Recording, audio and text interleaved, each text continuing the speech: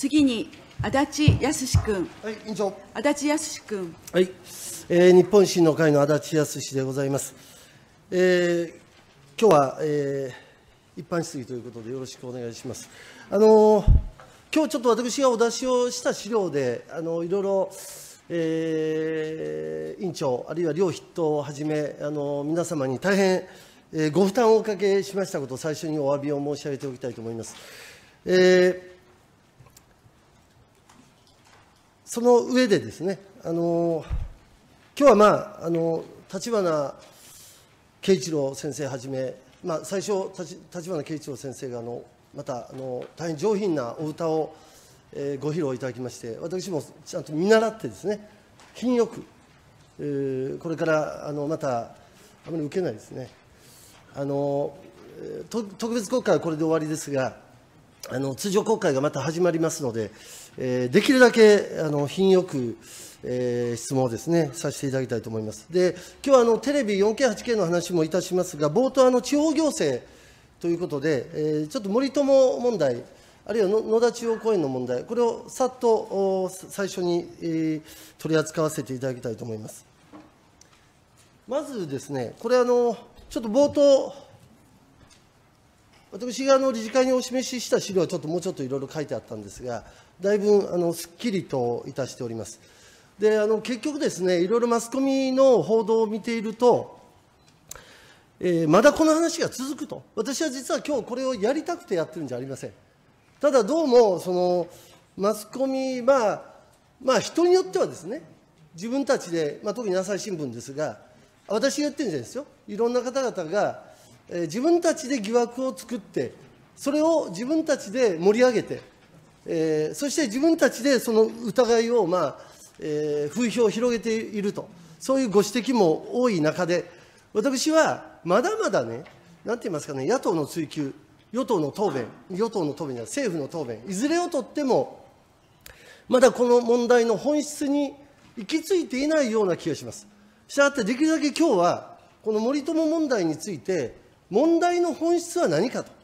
いうことを、まあ、なんとかたどり着けばいいなと思っておりますが、まあ、できれば10分ぐらいでこの話は、えー終わりにしたいと思います。ここに書かせていただいているのが、資料の1枚目、森友学園の隣には、野田中央公園という公園ができてます。でよく立憲民主党をはじめとする野党の皆様は、この森友学園について、この、まあ、昭恵夫人が関与したんじゃないかというような議論をずっとされてきて、まだこれ続いてますね。続いてるというか、僕は終わってると思いますよ。でもマスコミは、特に朝日新聞はまだ追及を続けてます。でただ、ここで明らかになったことは、少なくとも籠池さんたちは、ね、籠池さんたちは今、詐欺の容疑で逮捕され、そして被告の身にあります。それ事実ですね。で、一方で、隣、道を一つ挟んだ隣の野田中央公園、これについては、私が何度か国会で取り上げましたが、朝日新聞は一切書きません。立憲民主党をはじめとする野党の皆さんも取り上げません。まあ、したがって仕方なく今日は私がこの野田中央公園の話を取り上げるわけでありますが、いずれも、まあ、有益費とか補助金とか、あるいはゴミの値下げということで、事実上、その土地を受け取った森友学園、あるいは土地を受け取った豊中市、ほとんどお金を負担してない、これ同じですね。同じです。で、問題は、まあ、今、会計検査院が入って、この、えーと9えー森友学園について9から8を引いて、えー8を引いて、事実上1億円で入手したという話について、その8は適当かという議論をしてます。僕はね、その会見検査院もね、あの落ちたもんだなと思いますよ。ああいうそのどうでもいいところをつっついてね、で8というのがどうかっていう議論をしてる。じゃあね、隣の土地、勉強してくださいと。隣の土地は、金財は9億と見積もったんです。それに対して豊中市は14億ではあの、えー見積もりをして、で14億でこれ、取引動いてるんです。じゃあ、それはおかしくないのかということで、一応私の方で、まあ、これもね、まあ、党の方からね、もう、あの与党と野党、与党と立憲民主党でやらしといたらいいから、もう足立さんはもう、えやめたらという議論もありますが、私はね、あの別に与党を守るためにやってるんじゃないですよ。私はね、憲法だけはやりたいんですよ、憲法だけは。憲法改正だけはやりたいときに、安倍総理の脇が甘いとか、与党がだらしないとか、そういうことで我々足を引っ張られたくないんで、早く本質にたどり着こうと思って、これ持ってきました。これ皆さん見てください。このね、野田中央公園、野田中央公園はね、えー、3つの数字があります。一一番上は、まあ、一番真ん中が肝なんですけど、一番真ん中の14億2386万3000円、これが実際に、ね、実際に、えー、民主党政権交代政権交代があった半年後、このおかげで取り、そのお金で取引がされてます。それに対して自民党政権末期の麻生政権の時のこの予算要望ですね、補正予算を作るときには、こういう数字を各自治体から集めます。この数字も14億です。これ見てください、おかしくないですか？予算要望の時のざくっとした見積もり、ね、0.95ってこれ根拠、これちょっと今日あの国交省来てもらってます、豊中市に聞いてもらいましたよね、この0.95、これ根拠分かってますか？0.95の根拠、もし豊中市から聴取できてれば答えてください。国土交通省鳩山土地建設産業局次長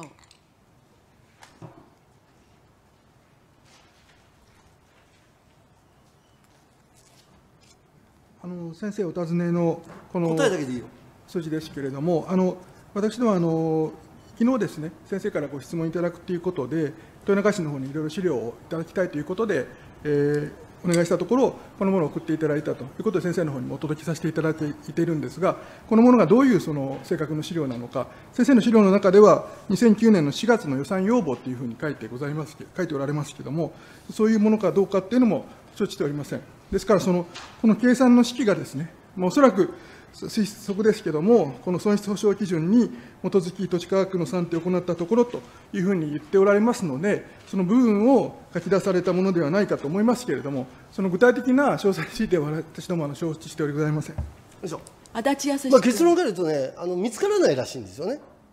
まあ、よくあることですよ、これ、えーと、財務省でも国交省でも航空局でもどこでも全部そうです。で、豊中市もね、ないって言ってるわけですよ。それで問題は、この14億と下の14億比べてみてください。結論は3000違いですね。その式を見てください。よくこんな合致すると思いません、皆さん。あのね、2つの見積もりが、数字が同じになることは世の中にはあります。それでも、同じような見積もりをしたら同じ結果になるんです。これ、ベースになる単価も違えば、割引率も違うんですよ。この掛け算が3000円違いでぴったし合うなんていうことは、僕はこれおかしいと思いますよ。なんでこれは野党追及しないんだ？なん立憲民主党特に。そしてなんで朝日新聞はこれを追及しないんだと？いうことを僕はずっと言い続けてるんですよ。もう一つの疑惑。不動産鑑定士 B と書いてますね。これ、金財が頼んだ不動産鑑定士です。金財が頼んだ不動不動産鑑定士は9億と見積もってるんです。高圧線マイナス20%の原価、地中ゴミマイナス6%の原価です。それに対して、豊中市が頼んだ不動産鑑定士 C は、高圧線マイナス2%です。地中ゴミマイナス0%です。これで、こういう、これで取引されてるんですよ。もうちょっと言うと、日本中の不動産取引、こんな感じですよ。今日国交省、不動産鑑定士制度って国交省が持ってますね。ごめんなさい、これ総務委員会だけどね、地方行政に関わることだからね。国交省、これ、不動産鑑定庁、こんなもんですか？鳩山土地建設産業局次長えっと、あの不動産鑑定についてのあのお尋ねでございますけれども、まあ、不動産の鑑定評価といいますものは、その不動産の経済価値を判定し、その結果を価格に表示するというものでございます。で、不動産鑑定士は、良心に従い、誠実に鑑定評価を行うということとされています。で、鑑定評価にあたりましては、評価の作業工程において、統一的な手順や手法が取られるよう、不動産鑑定評価基準というものを定めてございまして、これにのっとって行うこととされております。で、この不動産鑑定基準ではですね、いや、こんなもんかどうかだよ。こんなもんかどうか。えーあのそういう意味で、まあ、一つちょっと申し上げさせていただくと、鑑定評価は、その不動産の効用が最高度に発揮される使用形態である最有効使用を前提として行うこととされています。で、あの先生お尋ねの点でございますけれども、まあ、今回の土地のような非常に広大な土地につきましては、まあ、その土地の利用につきましてですね、そのこれを一体的に利用するのか、あるいはその分割して利用していくのか、それからそれを売買としてですね、売り払うのか、あるいはその賃貸に使うのかということについて、どういうその使用形態があるかということについて、まあ、鑑定士ごとにですね、やっぱりそこはいろいろ考え方があるところでございます。そういう意味で、その不動産鑑定士の方によってですね、評価の結果に違いが出てくるということは十分あるところでございます。以上足立康君。あのね、まあそんなもんなんですよ。だから私が申し上げたいことは、不動産鑑定士、これ、B さん、C さん、こういう結果ですよ。これがね、まあ言ったら、隣の土地でも行われてるわけですよ。それを森友学園の地中ごみの評価について、ね、6億、6億、8億円なのか7億円なのか 6, 6億円なのか、根拠が定かじゃないって会計検査院が言ってるわけでしょ？わかります？皆さん。だからこの1枚、この1枚はね、まあ結構私の力作なんですよ。こんなことね、僕がやらなくても与党がやれよ、ちょっとは。だから私が申し上げたいことは、ね、これは、これは、もうね、なんて言いますかね、ずっとこの半年か1年か1年半か知らないけど、森友だ家系だって言って騒いできて、特に朝日新聞が、捏造か誤報か、ね、変更か知りませんが、これやってきた結果、もしかしたら次の通常国会もこれやるかもしれないでしょ、立憲民主党は。だから私はもうやめたらどうかと言ってるんです。そしそして、そして、もし問題があるとすれば、もし問題があるとすれば、例えば、もし昭恵夫人に問題があるって言うんだったら、合わせて当時の国交省、ね、大阪府も、大阪府も間入ってるかもしれませんが、それ追及したらいいんですよ。やるんだったら両方やったらいいよ。さらに、もし本当にやるんだったら、これ、ちゃんとね、日本中の不動産の取引、日本中の公的な、いわゆる公的な土地の取引ですよ。日本中の1700以上ある自治体、公共団体がどういうふうに土地を取引しているのか、一回調べたらいいですよ。豊中の庄内地区のこの2つを取り上げただけでもこんなことになってるわけでしょ。だからこれ、大変な問題ですよ、戦後自民党が作り上げた、日本の土建国家の地部ですよ、こんなものは。だから与党もやりたくないんだ、俺。野党もなんかやり、あれでしょ？野党は森友はやりたいけど、野田はやりたくないんだ。だから私が申し上げたいことは、国会もいい加減真面目に仕事した方がいいっていうことですよ。だからやるならやる。やるなら本質にを追求する。立憲民主党ちゃんと聞いといた方がいいですよ。そして自民党も、いつまでこんなしこんなしょうもない話を引っ張ってんだ。早く自民党の議員が5対5でも8対2でもいいから質問に立って、早くこの話終わらせろよ。それが自民党の仕事だと思いますよ、私は。さあ、あのごめんなさい、ちょっと言葉が悪いのは、今日立花先生見習おうと思ったら、ちょっとうまくいきませんが、すみません、じゃあ、まあ、これぐらいにして、あの森友は以上にしてですね、えーと、4K、8K テレビ、野田大臣、あの12月1日にあの、ちょうど1年後の12月1日から 4K、8K テレビがじあと始まります。でまず、野田大臣に、えーお伺いしたいのは、かつてこの 4K、8K の高再生高再生な、えーえー動画動画っていうか、テレビ、映像については、えーコピーネバーも必要じゃないかという議論が一時されてました。これもうあのコピーネバーは、要は、えー録画禁止という選択肢は、えー不可という理解でいいのか、ご答弁お願いします。野田総務大臣。お答えいたします。放送にかかるコピー制御方式は民間の技術規格として定められており、新 4K、8K 衛星放送のコピー制御方式については、現在の地上波デジタル放送と同様のダビングって、これ、あの先生があの役所の時に手掛けられた、これの導入はすでに決まっております。あ他方、あのコピー制御方式の技術規格を策定する一般社団法人放送サービス行動化推進協会によると、現在、一部の放送番組の録画を禁止できる規格の検討は行われていません。えー新 4K、8K 衛星放送では、録画を禁止する方式は導入されないということを聞いております。以上です。委員長。足立康史君。もう大臣お手を煩わしました。一応大事なことなので、まあ、大臣ご答弁ということで頂戴をしました。事務方で結構です。すると今の、えー、APAB, の企画、これあの、今は TBD と書いてあります。TBD は消えるんですか ?TBD のままですか？山田情報流通行政局長。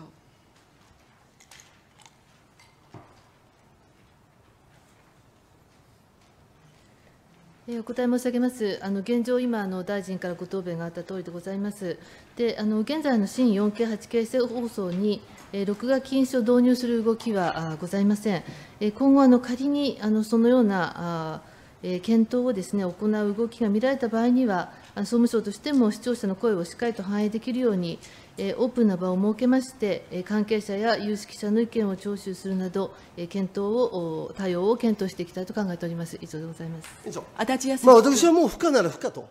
書いてセットするのが当たり前で、まさに野田大臣が出席されたそのイベントで、大々的にオリンピックに向けて、4K、8K テレビをふ50%まで普及させていこうとしてるんだから、その技術企画が TBD、検討中という状況のまま走り出すのは、私は異常じゃないかなと、こう思ってますが、あのこれはこれぐらいにしておきます。次に、えーいわゆる B キャスの後継えーである A キャスチップです。チップを内蔵するようなテレビ。これは私はね、ガラパゴスだと思いますね。受信機にこうチップを載せる。そういうその A キャスチップを内蔵した機器がですね、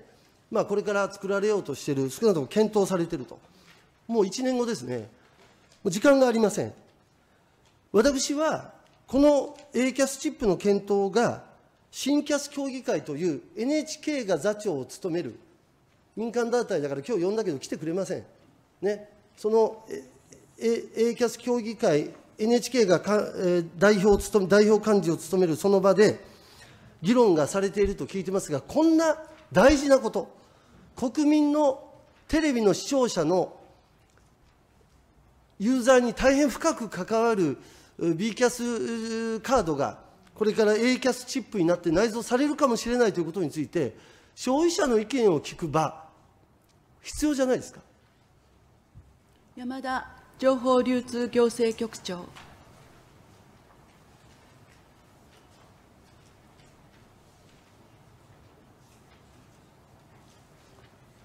お答え申し上げます。先生ご指摘の A キャスのチップでございますけれども、え現在、えーと、新キャス協議会というものがございまして、えそちらの方であの 4K、8K の放送自体にあの即したコンテンツ保護の保護管理の在り方を検討しております。え現在、その、え同協議会、えスカパー JSAT、NHK、ワーワースターチャンネル、日本ケーブルテレビ連盟の5社からあの構成されるところで検討されておりますが、この前提となります、えーその A キャスのえーセキュリティを高めたあの暗号化方式につきましては、えー情報通信審議会であのパブリックコメント等も取りまして、オープンな手続きを経て、えー技術基準として定めたところでございます。で現在、同協議会ではこの技術基準に準拠したチップを開発しているところでございますが、えーこうしたあの今後、動きにつきまして、えー必要な情報があの消費者に提供されるよう、しっかり総務省としても見守ってまいりたいと考えております。以上でございます。足立康君。えー情報通信審議会で、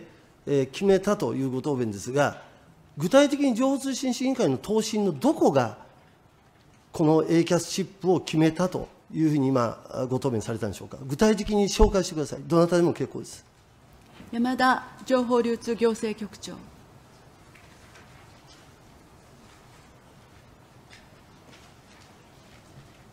今、えーご答弁申し上げましたあー情報通信審議会の検討でございますけれども、えー今回、あの秘密鍵をお暗号の強度を向上するという観点から、えー技術基準を定めたものでございまして、えー総務省令を、あその技術基準をもとにいたしまして、総務省令、また総務省の告示を定めたところでございます。以上でございます。足立康史君。ちょっとよくわかんないですね。あの、少なくとも関係者は、ね、この情報通信審議会で決めたと思ってませんよ。この新キャス協議会で決めてるんですよ。この審議会の答申が本当にそれをフィックスしたものかどうか、それも改めてちょっと時間取ってやります。ね。それから、そもそも、この A キャスチップというのは、ね、えーその、そう利用者からすれば、不当な取引条件の変更に当たるんじゃないかという指摘がすでになされてます。それから、えー 4K、8K の要は A キャスチップを必要としないユーザーに対しては、これ抱き、抱き合わせ販売になるのじゃないかという競争法、独禁法上の疑義も提示をされている。さらに言うと、NHK がこの新キャス協議会の座長を務めてリードしていることについては、放送法に抵触するという指摘もあります。3つまとめてご答弁お願いします。山田情報流通行政局長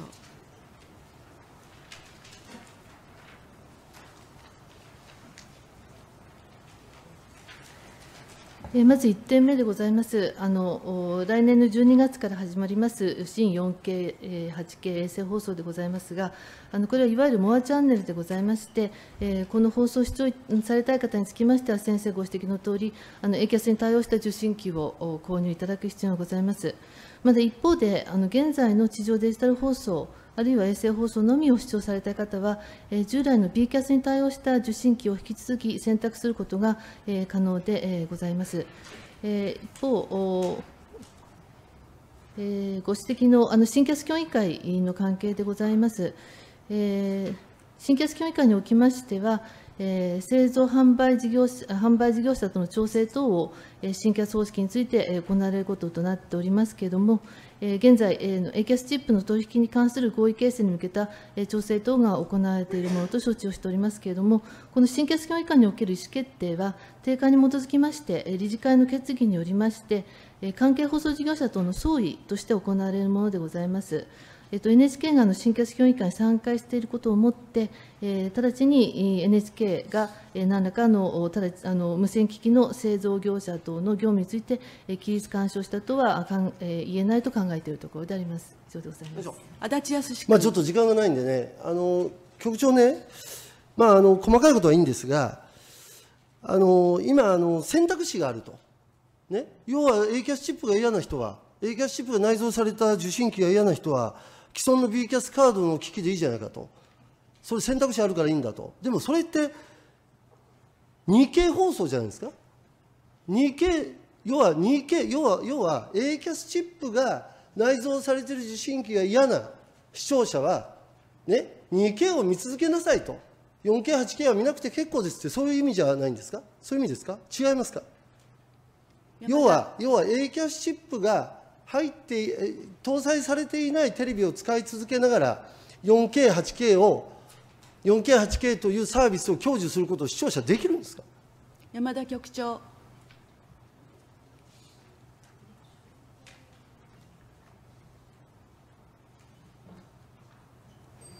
お答え申し上げます。え現在の新キャス協議会が開発を進めております、キャスチップでございますけれども、え来年12月から開始する新 4K、8K 衛星放送をあのご視聴するために、え開発を進めているものでございますが、えーと無料放送のコンテンツ保護、あるいは有料放送の視聴制御の機能を有しているものでございまして、えー新 4K、8K 衛星放送を視聴するにあたり、えー必要不可欠なものであると考えておりまして、えーこちらはあの受信機にえー内蔵するということが前提となると考えております。足立康大臣ね、もう時間来ましたが、あの大臣には今日ちょっと聞いていただきたかったと、でこれはあの大変難しい分野です。あのなかなかこれあの、勉強してもよく分かりません。しかし、あの世界の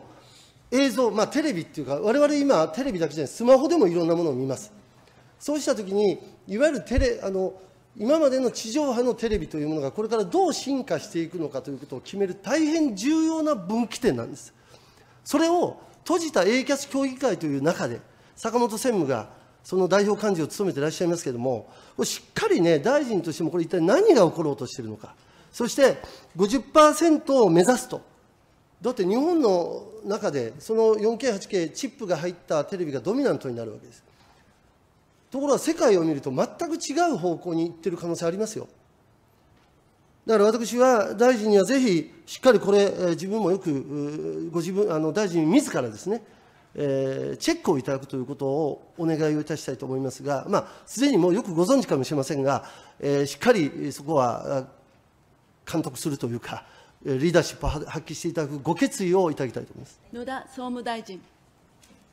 お答えします。あの、たまたまですけど、巡り合わせですが、20年前、郵政大臣の時は、アナログからデジタルに変わる時の、あの、取り組みの第一歩を、あの、取り組まさせていただきました。あの時は強制的でしたから、まあ、いろんな意味で苦労もあったけれども、あの、やりきることができましたが、今回の 4K、8K っていうのは、2K から2位で移っていただくことなので、むしろその方が難しいかもしれません。ですから、あの、いいご指摘のように、やはり透明性を持って、その動きが、あの、明確に消費者に伝わるように努力しなきゃいけないと思います。また B キャスから A キャスに移るのも大変大きなあの消費者からすると動きになります。なぜかというと、セキュリティを高めるという中で、あのこれまではカードであったから、私たちも見える化、あの利用者が見えてカードをなくしたり、いろいろあったんですけど、そういうことがありました。でも今回は基本的にチップにして中に入れるということで、そもそも買うときからもうその手が届かないところにある。であればこそ、やはり、ね、あの丁寧にあの消費者の皆さんが任意で買うものですから、あのよりあの分かりやすく取り組んでいけるよう、消費者目線を大切にして頑張っていきたいと思います。足立康君ありがとうございます。あの、任意とおっしゃいましたが、一方で、50%目指すとおっしゃってるわけで、私は舌を噛んでるなと、こう言わざるを得ませんが、引き続き議論したいと思います。ありがとうございます。